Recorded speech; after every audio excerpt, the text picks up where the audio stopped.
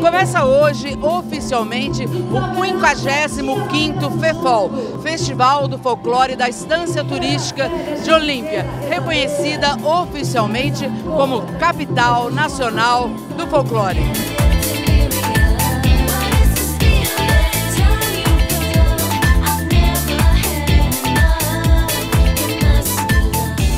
Abertura do Festival do Folclore acontecendo agora. Estou aqui com o prefeito Fernando Cunha. Prefeito, que delícia, né? Digo, a abertura é sempre muito bonita, a gente se arrepia o tempo inteiro com o espetáculo, com as crianças, o município inteiro participando.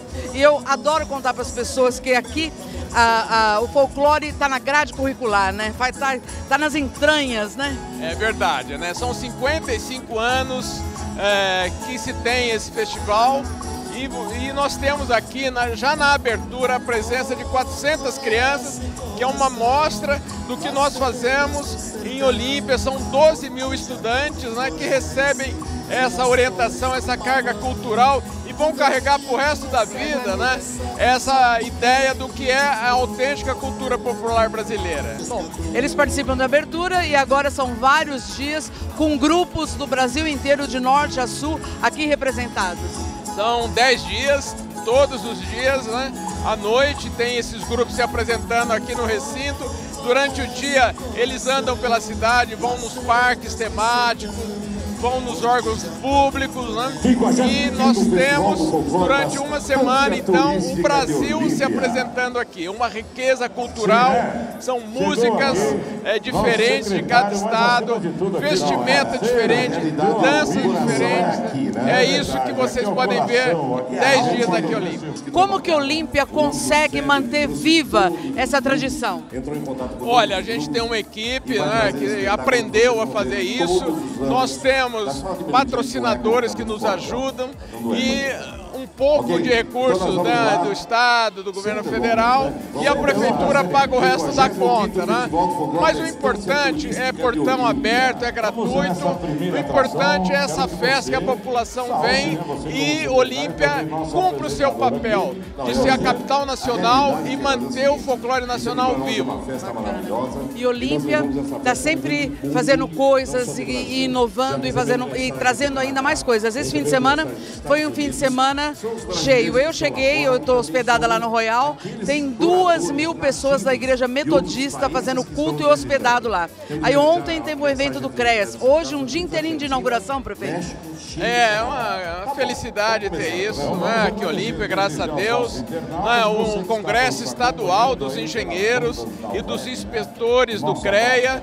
São mais de dois mil engenheiros aqui Olímpia, nesses, foram três dias com seus, com seus familiares familiares. É, esse encontro dessa igreja lá no Royal, também duas mil pessoas, né? Então são milhares e milhares de pessoas que se somam aos que vêm para o Festival de Folclore. Né? E a gente, é, a gente tenta fazer disso uma coisa efervescente aqui Olímpia. Sensacional. Então, parabéns Olímpia e parabéns prefeito Fernando Cunha. Eu que agradeço e agradeço também o apoio do governo do estado. Nós temos do Rodrigo Garcia, né, que veio aqui hoje como governador em exercício para inaugurar uma estação de tratamento de esgoto de 20 milhões de reais para proporcionar à Olímpia 100% do esgoto tratado. Essa foi um, uma inauguração importante que nós tivemos hoje. Então, boa festa para nós agora, né? É, vamos lá, vamos festar vamos um festar. pouco, né? Vai começar agora as apresentações dos grupos, né? E espero que seja, um, espero que seja mais um festival maravilhoso Vai de Olímpia. Nós só temos a agradecer a todos porque nós temos uma equipe muito forte. Temos um grande comandante que é o Fernando Cunha e temos uma equipe fortíssima. Então a gente sempre chega a resultados efetivos e podemos divulgar o nosso folclore.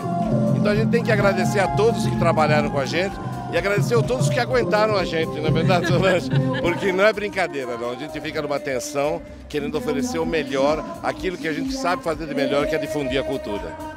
Doutora Solange, o bacana de Olímpia é que o folclore está na grade curricular. As crianças nascem respirando folclore, né? Todo mundo aqui aprendeu folclore na escola, então é uma coisa autêntica, né? Sim, eu me lembro da época que eu fui aluno do professor José Santana, que é o idealizador do folclore. E nós crescemos com essa cultura, com essa tradição.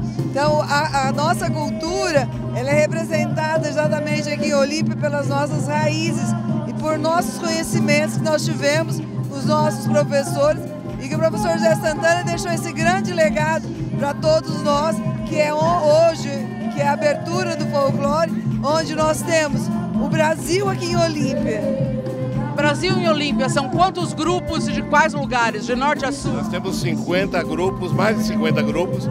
Temos todas as regiões do Brasil, temos 14 estados. E o Brasil realmente se encontra aqui. 3.500 componentes dos grupos. Então, outro dia me perguntaram, e a economia de Olímpia? Cresce? Eu falei, não precisa fazer uma conta muito grande. Se você considerar que cada um do grupo, do grupo, vai gastar 50 reais, você imagina quanto que a gente joga na economia esses 10 dias não serão só aqui no palco, né? Tem muita coisa acontecendo, né? Tem muita coisa acontecendo. Nós temos os nossos seminários todos os dias. Temos a apresentação do folclore infantil às crianças, da Secretaria de Educação, todos os dias fazendo a apresentação.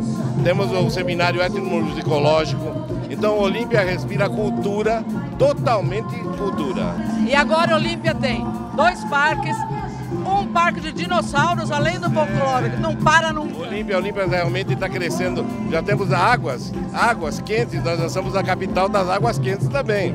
Temos dois parques que já fazem parte dos 10 parques que são os parques considerados top a nível de, de, de, de mundo. E além disso, agora nós temos o Festival de Folclore, que nós respiramos folclore, e todas as festas que a gente promove. Gente, obrigado e boa festa. Muito obrigado, Malu. Obrigado, Luiz. Obrigado a vocês.